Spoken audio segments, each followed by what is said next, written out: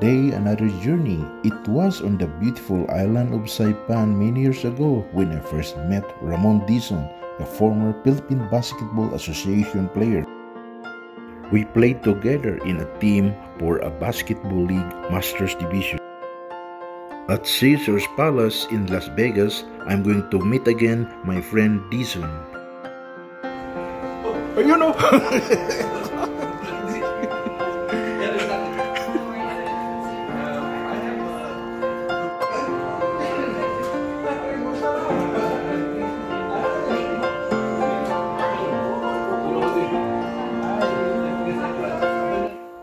Dizon played for a year with Royal Tru Orange in PBA where their team defeated Toyota to clinch championship in 1979.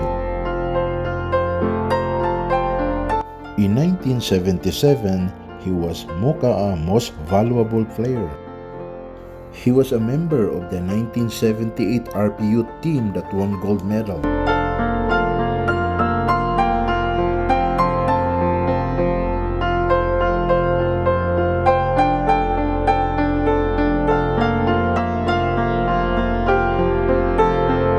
Cousin uh, Manuel, uh, we call him Boy in the Philippines. Uh, I used to watch him play uh, intercolor tournament uh, in our area, in our community. So that's kind of um, looking at him and look at the, all the other older older um, boys in in our community. Kind of uh, encouraged me to play basketball.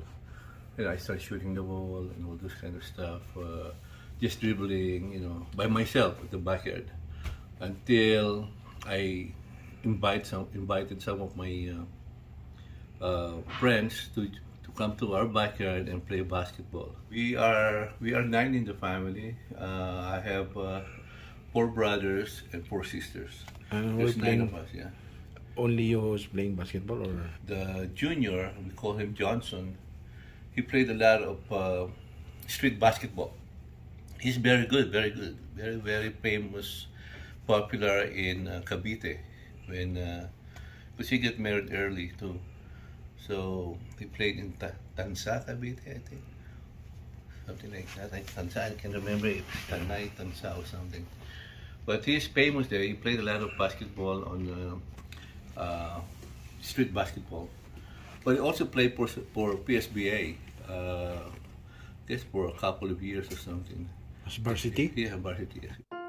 Dizon, who is now based in Stockton, California, is into pharmaceutical At business. the time when I was, uh, I guess, uh, 12, 10, 11, 12 years old, um, there's a lot of street basketball in our area, you know, I mean, because in, in, in Sampaloc, there's like uh, maybe four or five different courts, and they have their own names, you know, like Olik is uh, one of the place actually I grew up. Then there's a UIC who actually took us as kids to play there. It's actually about straight street uh, away from Olik. You know, they have their own league there. Olik have their own league, and then there's also one in um, Dapitan and uh, the other side of España. But again, my dad is actually um, doesn't like me playing basketball uh, because of what happened to him. You know, he was uh, stabbed playing basketball during his younger days. Upon the instruction of his father, his mother burned all his basketball uniforms, but it did not stop Dizon from playing basketball. His friends would keep his jerseys and shoes and would bring it to the court whenever they have games.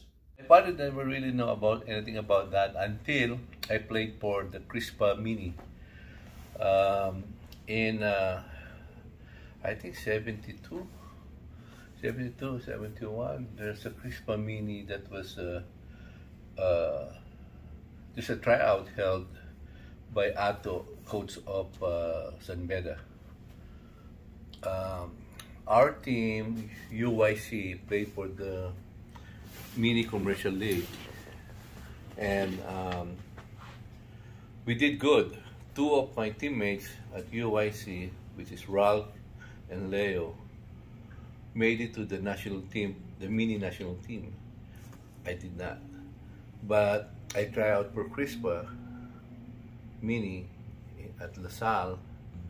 And the story actually, when uh, we went for the uh, tryout in um, EDSA, EDSA there's buses. You have to take the buses from Cubao to LaSalle, you know, or Ortigas, I think. Yeah. So anyway, I guess I was the fastest of the team. So I ran to the bus and I left my teammates, maybe four of them, was going to try out with me. So I look at them, so I the bus is running, so I jump off the bus and I was just rolling right on the street. And I got all the scratches on my body. Oh. And I just stood up, pretended I'm not hurt. But actually hurting, you know, because of the scratches. Just pretended I'm not, I'm not hurt. So I came back and waited for the went to the bus stop and rode the bus going to um, LaSalle, Green Hills. And I was trying out and um, all scratches, you know. And I did good, you know. Out of uh, six of us who went to try out, I'm the only one that was picked by Ato to play for CRISPA. Actually, we won the tournament, or the we call the Mika Mini. Actually, side by side during the opening of the Mika that year, we are beside Crispa, and then Chito Loyzaga was you know playing for Morocco. So I saw Jaworski, I saw Danny Florencio, Jun Papa, you know, and all those guys, Rudolph Batch, you know. I was starstruck struck by watching them, you know, while side by side with them at the parade. So, uh, how did your father discover that you're playing basketball? Yeah, okay. Well, it was televised on TV. You know, and then when they show the the, the, the, you know, the team on the parade, you know, let's say they call uh, Meralco, so it was the mini team comes out, and the, then the men's team followed.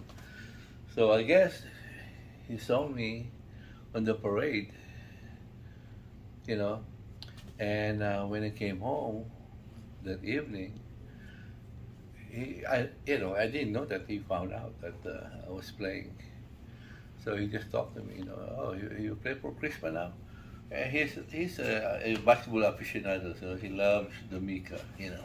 He watches Mika all the time too.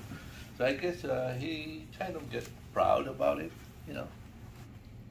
At Ramon Magsaysay High School, I played uh, on our third year. Because third year is when you start PMT, you know, you, you have to cut your hair, you know, the military cut, you know. So uh, my PE teacher asked me if I want to play basketball for the school uh, on our my third year. And uh, I asked, I asked, actually, I asked him, you know, do I need to still go to PMT if I play basketball? He said no, you know, so I can keep my hair, you know. so, so I end up like playing for Ramon Magsaysay. In Mag- at Magsaysay, the basketball court, there's no board. It's just like a ring. Yeah. When I was 12, uh, we, I have a coach. Uh, his name is uh, Ernesto Stanislao. We call him Erning Buko. Uh, he's actually the one who taught us how to be a team, uh, how to play a actual the way basketball should be played. That you have a guard, two guards, two forwards, one center. Uh, organized basketball, you know. So he taught us to do that. And at that time, uh, when I went to Crispa Mini, I saw, you know, uh, Jun Papa. I kind of uh, copy his long shots. I kind of copy Danny Florencio's move. I kind of copy um, Ray Franco's move. And basically just practice them, you know, like uh, during games or our practice, as kids, you know, we always after the shot we'll call the we'll call the name, you know, like uh, the Danny Florencio move, you know, or jump up a shot, you know, or Ray Franco's dribble, you know, those kind of stuff. So, so actually, I have my own style, but we love to copy those those guys, you know. Uh, Jaworski, you know, to copy Jaworski. And then I guess the other player that we copy a lot was uh, Jimmy Mariano on how we shoot the ball like this, you know, like, you know, Mm-hmm. but he's a good shooter, right? Yes, I'm good enough. That's why a lot of uh, teams on different places uh, invite me to play with them until even in college, you know, when I was being picked up by PSBA or by Nick Jorge to play for PSBA, uh, I was uh, invited to to play uh, outside uh, basketball, like in the provinces, you know. College, that's where I was uh, named uh, most valuable player on my uh, uh, senior year. After my third year, there was no most valuable player, but we were the champions, and I uh, I did a, a lot of a lot of good uh, games during third year at PSBA. It's under CBIT tournament league, and then Muka came in. That's where I became the most valuable player. What year was that?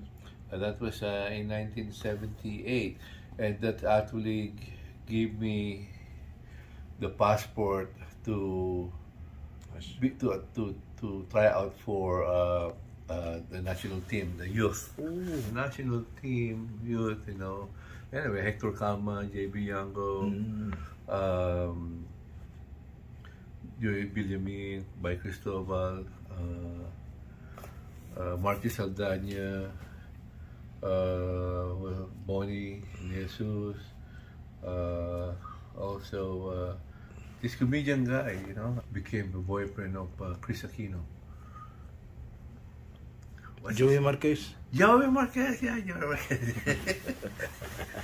Joey Marquez. Anyway, uh, a lot of story uh, when we were on the national team, you know, we went to Pesta Sukan in uh, Singapore, Singapore. Man, you know, I mean, uh, just so fun, you know, experiences to first time to be out of the country and to take the the airplane, you know, commercial plane to Singapore and to be with the guys, you know. I mean, it was so many, so many good experiences with them, you know. So actually, uh, the team it was Hector Calma, myself, uh, Marcel Danya, and um, uh, Oji Nervasa. We were, uh, of course, D- Dolly Ramos. We were the youngest, you know, and uh, we had the less experience as boys or between men and boys, you know. We are the boys, you know. So it was fun, you know, and uh, actually being part of the team, and we were the champion in uh, the, the the Asian Youth tournament. But in uh, Singapore, Pesta Sukan, we we were second to Korea. You know, but it was a really good experience, and uh, actually the 1977, I was already asked to try out but, uh, for the national team, for the youth team, but I was not uh, picked until the following year. And that also kind of uh, put me on the untouchable players uh, by the Basketball Association of the Philippines, BAP, who is headed by Lito Puyat. There's there's a list of players that who cannot go to PBA. We have to stay there for two years before we can go to PBA. Um, but I made it to the PBA in 1979 because Ning Ramos, uh, who is the manager of uh, San Miguel, and uh, my coach, uh, uh, Nick Jorge, brought me to San Miguel Mica, and not even a year, Ning Ramos asked me to join the PBA. So I was only 21, 20, almost 22 years old, 21. Okay, so Mon, tell us uh, about the championship between Toyota and Royal Florence. Okay, I joined PBA in 79, uh, uh, the All Filipino, you know, I, I, played a lot, you know, uh, because uh, we don't have no imports at the time for All Filipino uh, uh, conference. The second conference, you know, we have a couple of imports, you know, Auto Morinari pounds. So I sell them, I was them used, you know, uh, because of the Yoyong Martirez, Paguntalan, and Tony Torrente being the guards. Uh, but anyway, uh, on the championship against Toyota, uh, the per it's best of five. The first, the first three actually, I was not used. I mean, not at all. I mean, not at all. You know, I mean, I was just not used. On the fourth game, uh, the standing was 2-1. We're leading the best of five by two games to one. And if we lose that fourth game, the momentum will be with the Toyota. So anyway, um, I, I, didn't even put my my uh, supporter, you know, knowing that I will not be used anyway, you know. So anyway, uh, in the second quarter, you know, Coach uh, Edo Campo called me. I was just surprised, you know. I mean, but we were. I mean, Toyota is leading by 17 points. You know, I mean, Paguntalan is not doing anything. Torrente is missing a lot of shots. You know, so I'm kind of eager to to help. You know, I mean, uh, I mean, as far as uh, uh, kind of, I, I hate losing. That's why when I when uh, Coach Ed Ocampo put me in, I kind of control the game. You know, I don't care if Yoyo Martinez is there or something. I get the ball and try to, you know, control it. You know, and um, you know, uh, lucky enough, you know, uh, we get closer and closer and closer, and um, I made all my free throws, but I missed one shot and I made about 10 points and I'm the highest pointer for the Filipinos and of course you know the imports made all the points you know. I was there really really controlling the game you know I mean I mean I'm guarding Jaworski guarding Arnaiz. I lost the Tuadles to the most uh, the rookie of the year for that uh, year because uh, well, the all Filipino I'm doing pretty good and when they announced the Rookie of the Year, it was wanted because he's Toyota, and of course, you know, he's much taller and most, most uh, used player, you know, com- compared to me. A lot of uh, PBA players played the game, never experienced what I experienced, you know, because they never went to the championship. Plus, also between 78 and 79, playing for making the MVP for in college and getting the championship in college, being a player of Mika for San Miguel, and being a player for the national team, and being a PBA player in one year. Why did you leave uh, PBA at the height of your career? Well, you know, uh, again, you know, it was like torn between two lovers, you know. yeah, I, my wife, uh, my girlfriend at that time, my wife, you know, left for U.S while I was playing, you know. So uh, I decided that, you know, uh, she doesn't want to come back and marry, get married in the Philippines, but he would just want to practice her profession here in the U.S. as a nurse. And of course, you know, I have to choose whether basketball on her. But I choose the one that is forever you know, basketball is forever. But Gilda, Gilda, Gilda de Mesa Dizon. From? From Balik Balik, Sampaloc. Oh, okay. Yeah. yeah. And then uh, we blessed to have uh, two kids, uh, three kids. I'm thankful for Ernesto Stanislao as my coach that started me to play basketball, you know. Uh, Nick, Nick Jorge is another one. Um, man, there's uh, I mean, all my friends that uh, I played with, you know, uh, in Sampaloc. Um, and uh, my team in uh, PSBA, you know, I mean, um, so Ben Obrigue, Roy Manchas, Ber Santos, uh, oh my God, you know, Ernesto Esteban. Uh, I can name all of them, but uh, being a leader of a team, uh, Roy, Roy de Guzman, Gary Vargas, helped me in my life now too, you know, to how I manage the business and how I manage employee, how I organize, how I motivate people, and how to take care of uh, situations. You know. How about the people in Saipan, your friends in Saipan? I in Saipan, you know, I met all those guys that man. Well, Rick Brand is my compadre there at Cusino, and this guy, uh, this guy uh, Perdi De La Torre, you know, I mean. Ed Pineda, ah, Uh, Elmer. it's Elmer, Elmer, Elmer, Elmer Pineda, you know, and Des Pineda, you know, and there's bunch of guys there that uh, Buboy Perez, you know, uh, God, I mean, some Alex Juan Cuenco or something, uh, and then Paul Magnolia, uh, Governor Pichal, those are those guys in Saipan. You know, Saipan is a beautiful place to visit.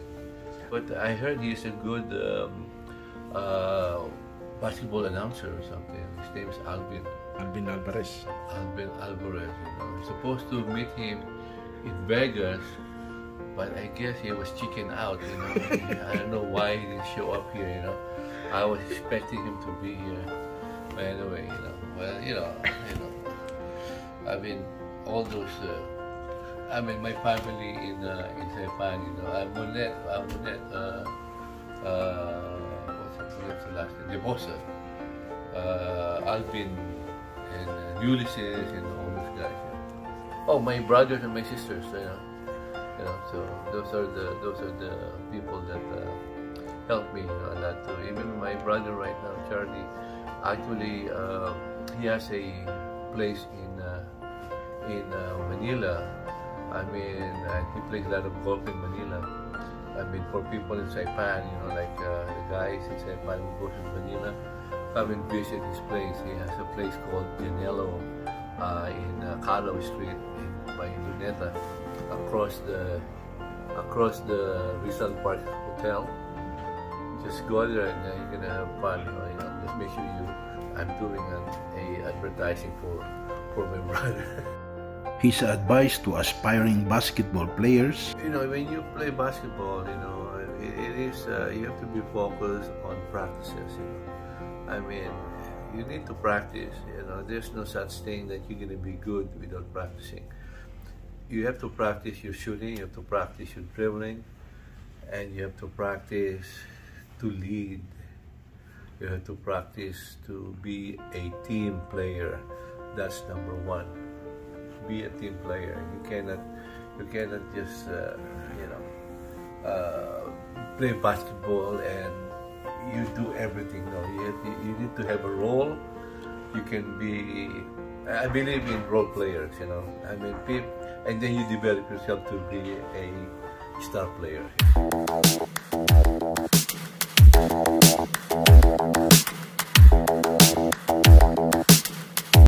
In America, Dizon continued playing basketball, but that's another story. Smile and wave!